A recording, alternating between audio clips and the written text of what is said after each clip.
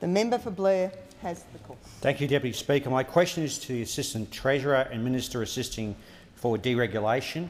Will the Assistant Treasurer update the House on false and misleading claims made about the carbon price? What action has been taken by the ACCC and businesses to address such claims? The Assistant Treasurer has the call.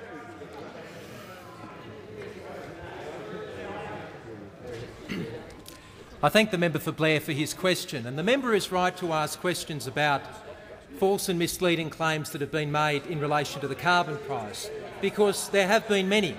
In fact, most of them have been made by the coalition. As we all know, the carbon price The came into effect on the 1st of July. And what have we seen in that time? Have we seen the, the wrecking ball through the Australian economy that the Leader of the Opposition promised?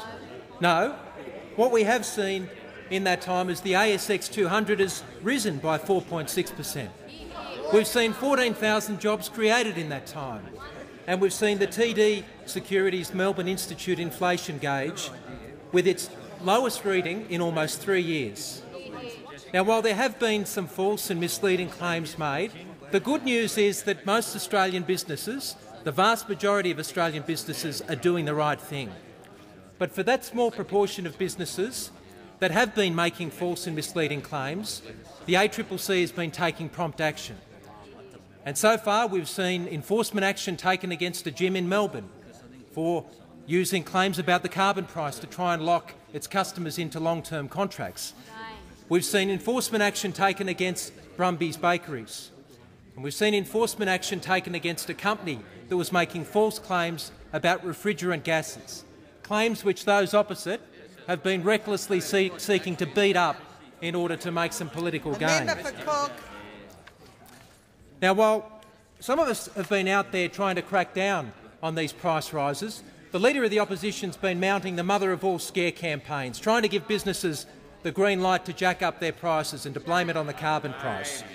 Well, The member thankfully, for Cook will leave the chamber, chamber under 94A. His persistence in ignoring the chair is, is not warranted. The Assistant Treasurer has the call. but thankfully, most Australian businesses have been turning their back on the invitation to join the Leader of the Opposition's reckless scare campaign. Now, we, we all recall the, the dodgy pamphlet that was distributed by the Leader of the Opposition to butchers all around this country. We remember that pamphlet. And in fact, the Australian Meat Industry Council, who represent butchers all around the country, Uh, this was something drawn to their attention that they decided to write to their members in their newsletter to comment on. And what they said was, they said the federal opposition leader recently provided a flyer to many small business owners, allegedly providing encouragement to increase prices as a result of the carbon tax. And then they go on, and it says AMIC strongly recommends that you do not claim that price increases are a direct result of the introduction of the carbon tax, and wait for it, or display material to this Casey is a effect which may have been provided by third parties. Third parties like the Leader of the Opposition.